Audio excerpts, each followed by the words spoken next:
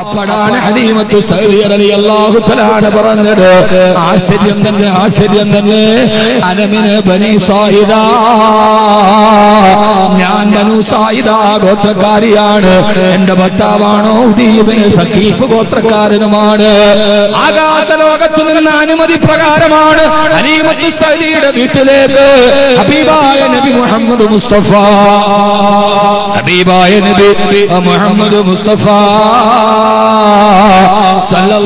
അലൈഹി വസല്ലമയുടെ പ്രയാണം തുടങ്ങുന്നത് പിന്നീട് എന്റെ പ്രിയപ്പെട്ട സഹോദരങ്ങളെ പറഞ്ഞു പോയാൽ അനുരാഗത്തിന്റെ വിവരണം ഇങ്ങനെ അത്ഭുതകരമായി ആശയത്തിന് പിടികൊടുക്കാറ് അത്ഭുതകരമായി നടന്നു പോകുമ്പോ പറയേണ്ടത് പറയാ നമുക്ക് കഴിയാതെ പോകും.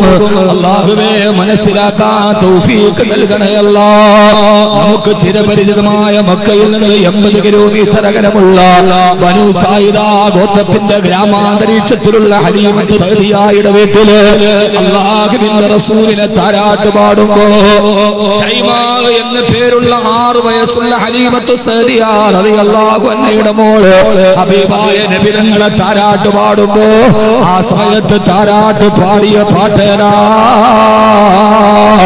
കൊച്ചു കാലഘട്ടത്തിൽ കൊച്ചു കാലത്തിൽ കൊച്ചു കാലത്തിൽ കളിത്തൊട്ടിൽ കിടക്കുമ്പോ സൈമാ എന്ന പേരുള്ള ആറ് വയസ്സുള്ള ഹനീമത്ത് സരിയാറി അള്ളാഹു അന്നതിന്റെ മോൾ അള്ളാന്റെ റസൂലിനെ താരാട്ട് പാടിയ താരാട്ടേതാ. മുഹമ്മദാ ഹത്താ റആഹു നാഫിഅൻ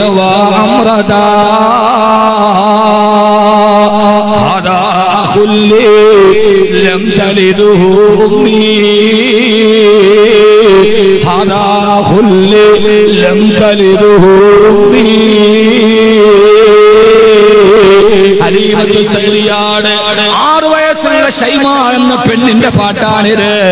ഈ കളിത്തൊട്ടിൽ ചന്ദ്രന മുഖത്തെ പോലെ നാണിക്കുന്ന പ്രശോഭിതയോടെ കിടക്കുന്നതാരാ?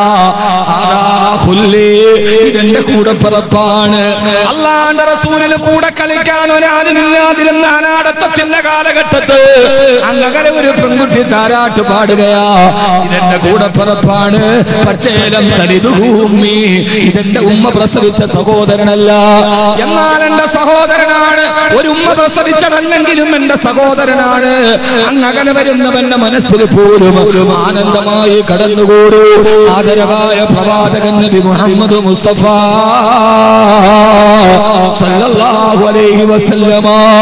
ഇവിടെ നിന്ന് നമുക്ക് തുടങ്ങാം ഈ നിയോഗത്തിന്റെ പൊരുളുകളിലേക്ക്. ആ പ്രവാചകന്റെ നിയോഗം പിന്നെ തൊട്ടിലിൽ നിന്ന് പിന്നെ കൗമാരത്തിലായോ. കൗമാരത്തിൽ നിന്ന് യൗവനത്തിലായോ. യൗവനത്തിൽ നിന്ന് പ്രബോധനത്തിലായേ. പ്രബോധനത്തിൽ നിന്ന് പ്രതിസന്ധിയിലായോ. പ്രതിസന്ധിയിൽ നിന്ന് പ്രകോപനത്തിലായി. പ്രകോപനത്തിൽ നിന്ന് പിന്നെ ദശാസന്ധികളിലായോ ആ പ്രതിസന്ധിയിൽ നിന്ന് പിന്നെ വിജയത്തിലേക്കായി. വിജയത്തിൽ നിന്ന് പിന്നെ ത്യാഗത്തിലേക്കായി? ത്യാഗത്തിൽ നിന്ന് പിന്നെ വിയോഗത്തിലേക്കായി? നാളെ അവസാനിക്കുമ്പോൾ നമ്മൾ അവിടെയാണ് എത്തുന്നത്. അള്ളാഹുവിന്റെ പ്രവാചകൻ നബി മുഹമ്മദ് മുസ്തഫ അന്ന് മുതലേ നിയോഗമാണ്. ആരെന്നെയുമോ ഏറ്റവും നല്ല പിതാവായി ഏറ്റവും നല്ല ഭർത്താവായി ഏറ്റവും നല്ല അയൽക്കാരനായി ഏറ്റവും നല്ല ഉടമയായി ഏറ്റവും നല്ല സൈന്യാധിപനായി ഏറ്റവും നല്ല ഏറ്റവും നല്ല നേതാവായി ഏറ്റവും നല്ല ഇമാമായി എല്ലാം മാറി നബി മുഹമ്മദ് മുസ്തഫ. ഹബീബായ നബി മുഹമ്മദ് മുസ്തഫ. പോരാ ഹബീബായ നബി മുഹമ്മദ് മുസ്തഫ. സല്ലല്ലാഹു അലൈഹി വസല്ലം ഞങ്ങൾ ആരംഭിക്കുകയാണ്.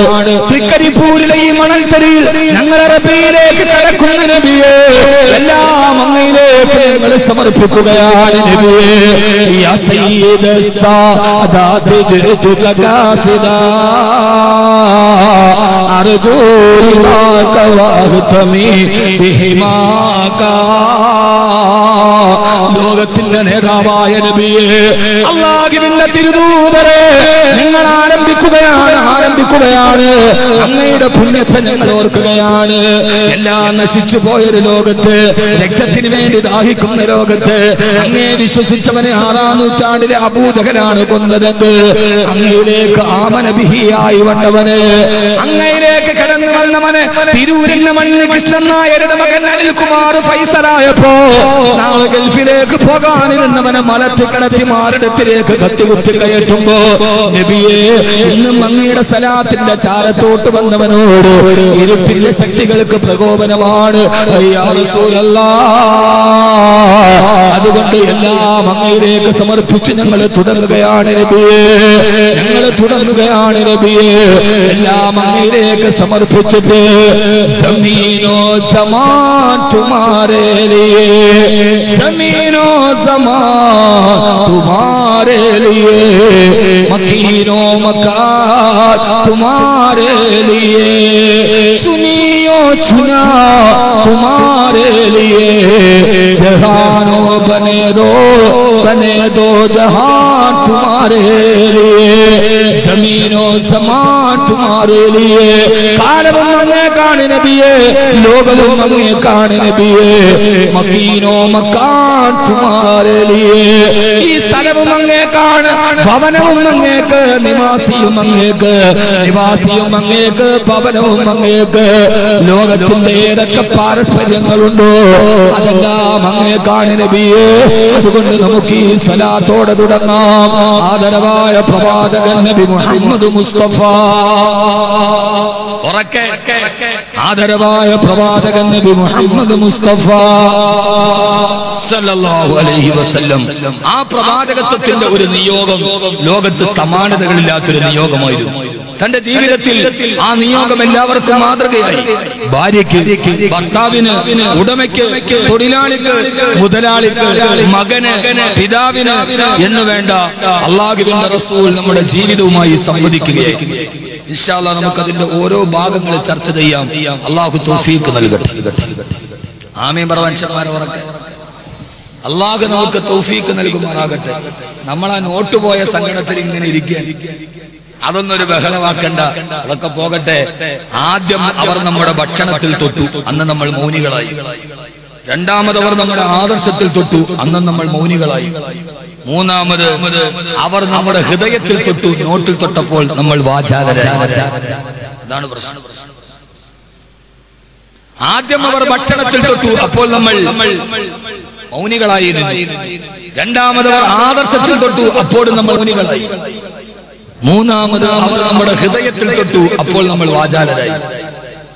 ഇനി അവർ കടുത്തിൽ പിടിക്കുന്നതിന് മുമ്പ് ഒത്തൊരുമിച്ച് നിന്ന് കഴിയില്ല എന്ന് പറയാൻ കഴിഞ്ഞില്ലെങ്കിൽ വരാനിരിക്കുന്ന ചരിത്രത്തിലെ ഏറ്റവും വലിയ ഭീരുക്കളായി ഇന്ത്യൻ മുസൽമാൻ അവർ അടയാളപ്പെടുത്തപ്പെടും എന്ന കാര്യത്തിൽ യാതൊരുവിധ തർക്കവും അള്ളാഹു കൂത്തൊരുമയെ അള്ളാഹു നിലനിർത്തി തരുമാറാകട്ടെ. അള്ളാഹു നിലനിർത്തി തരുമാറാകട്ടെ. അതുകൊണ്ട് സഹോദരങ്ങളെ പറയാനേറെയുണ്ട് റബി പ്രഭാഷണത്തിൽ. പക്ഷെ എല്ലാം പറയാൻ പറ്റില്ല. അള്ളാഹു നമുക്ക് എല്ലാവർക്കും തൗഫീക്ക് നൽകി യഥാർത്ഥത്തിൽ ഹബീബായ നബിതങ്ങളുടെ ഒരു കാലഘട്ടത്തിലേക്ക് ലോകം തിരിച്ചു വരികയാണ്. യഥാർത്ഥ ദീൻ പറയാൻ കഴിയും. ഇന്ന് നമ്മുടെ ലോകത്തിൽ ഏറ്റവും പ്രധാനപ്പെട്ട ഒരു വിഷയം യഥാർത്ഥ ദീൻ എന്താണോ ആ ദീൻ ഒരു സമൂഹത്തിന്റെ മുമ്പിൽ പറയാൻ പറ്റാത്തൊരവസ്ഥയിലേക്ക് കാര്യങ്ങൾ മാറിക്കണം അള്ളാഹു നമ്മളെ കാത്തുരക്ഷിക്കട്ടെ. ഈ കാലഘട്ടത്തിൽ എന്റെ സുന്നത്തിനെ കയ്യിൽ പിടിക്കുന്നവൻ കൽ കാബിലി അലൽ ജംബ്. തീക്കട്ട കയ്യിൽ മുറുകെ പിടിച്ചവന്റെ അവസ്ഥയിലാണെന്ന് മുത്തുനബി പറഞ്ഞ ഒരു അവസ്ഥയിലേക്ക് സമകാലീന ലോകം കടന്നു പോകുമ്പോ അള്ളാഹുവിന്റെ പ്രവാചകന്റെ ദർശനങ്ങളെ സമകാലീന സമസ്യകളുടെ പൂരണമില്ലാത്ത ലോകത്ത് അവതരിപ്പിക്കാൻ നാം ശ്രമിക്കുകയാണ്. അള്ളാഹു നമ്മുടെ ജീവിതത്തിൽ ഇത് പകർത്താൻ തൗഫീക്ക് നൽകി അനുഗ്രഹിക്കുമാറാകും ഉറക്കെ പറയും. മുത്തുനബിയുടെ നിയോഗം എന്തായിരുന്നു? ആ നിയോഗം ഒരു ഭർത്താവായി ഒരു പിതാവായി ഒരു മകനായി ഒരു നേതാവായി ഒരു സാമ്പത്തിക പരിഷ്കർത്താവായി ഒക്കെ അള്ളാഹുവിന്റെ റസൂലായിട്ടു. പ്രവാചകന്റെ സാമ്പത്തിക ശാസ്ത്രം ഇപ്പോഴത്തെ ലോകത്ത് വലിയ പ്രസക്തമാണ്. ഖുർആൻ പറഞ്ഞതാണ് ശരി.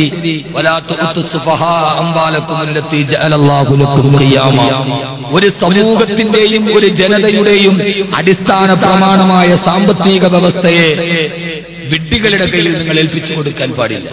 പരിണിത ഫലങ്ങൾ അറിയാതെ സാമ്പത്തിക വ്യവസ്ഥയെ കൈകാര്യം ചെയ്യുന്നവരുടെ കയ്യിൽ നിങ്ങളുടെ സാമ്പത്തിക വ്യവസ്ഥയെ നിങ്ങൾ ഏൽപ്പിച്ചു കൊടുക്കാൻ പാടില്ല എന്ന് വിശുദ്ധ ഖുർആൻ ആയിരത്തി നാനൂറ് വർഷങ്ങൾക്ക് മുമ്പ്. വരും വരായികളെ കുറിച്ച് ചിന്തിക്കാൻ കഴിയാത്ത ഒരു സമൂഹം സാമ്പത്തിക മേഖലയെ കൈകാര്യം ചെയ്തതുകൊണ്ടാണ് ഈ അവസ്ഥ സംജാതമായത് എന്ന് ഖുർആാനിക ദർശനത്തിന്റെ വെളിച്ചത്തിൽ ഞാൻ സംവദിക്കുകയാണ്. അള്ളാഹു തോഫീക്ക് നൽകട്ടെ.